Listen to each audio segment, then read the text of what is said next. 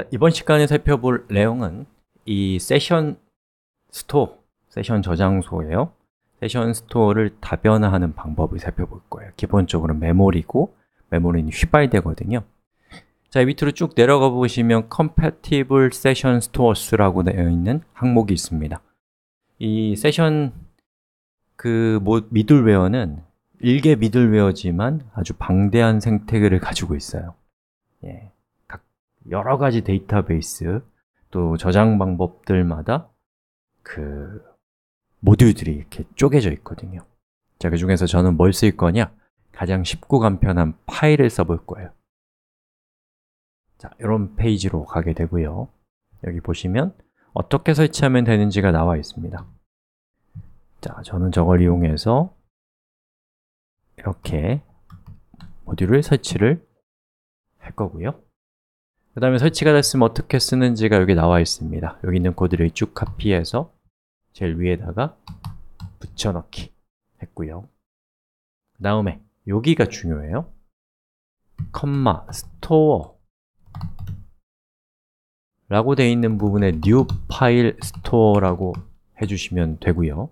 얘가 동작하는 기본적인 방법을 바꾸고 싶다. 그럼 여기 있는 옵션 값에 요 위에 있는 요 값들을 추가하시면 됩니다 자, 됐고요. 그럼 저는 다시 얘를 실행시켜 볼게요.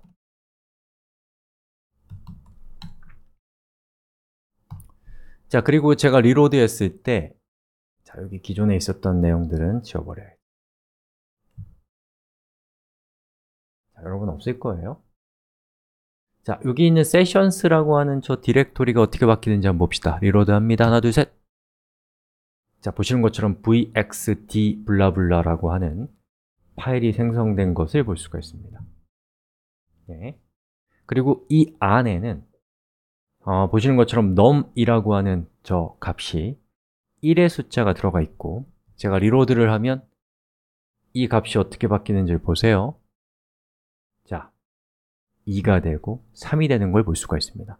즉, 우리가 지금 사용하고 있는 Express Session Middleware는 자, 여기 있는 이 코드가 실행되면서 내부적으로 어떤 일을 할지를 우리가 추정해 보면 사용자가 그 세션 아이디를 가지고 있는 상태에서 서버로 접속하면은 여기 있는 request 헤더의 쿠키 값으로 이렇게 서버 쪽으로 세션 아이디를 전달하거든요.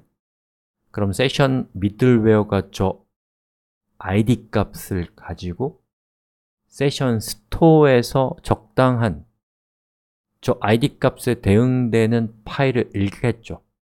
그리고 거기 있는 이 데이터를 기반으로 해서 어, request 객체의 session이라고 하는 그 property에 객체를 추가하는 거죠. 그리고 거기에 있는 값 중에 이 store에 있는 값의 num이 3이니까 요것의 값을 3으로 세팅해서 공급해 주는 겁니다. 그럼 우리가 이런 코드 또는 이런 코드를 통해서 그 num의 값을 바꾸면 이 request가 끝난 다음에 세션 그 middleware가 session middleware가 그 이 파일에다가 그 값을 적 작업을 끝내는 거죠. 그럼 다음에 요청할 때 이 파일을 열어서 역시나 어, 세션 객체를 통해서 그 데이터를 공급해 주게 되는 겁니다. 그 과정에서 여기 있는 이 session store라고 하는 것을 사용을 하게 되는 것이고 여러분이 요거를 파일이 아닌 MySQL로 바꾸면 MySQL을 session store로 사용할 수 있게 되는 것이죠.